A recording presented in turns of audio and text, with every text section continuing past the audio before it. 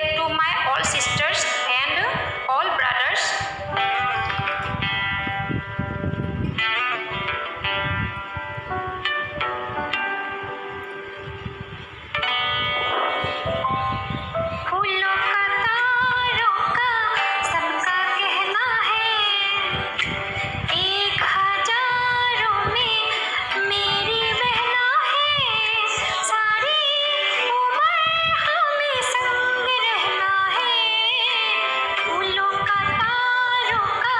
सबका कहना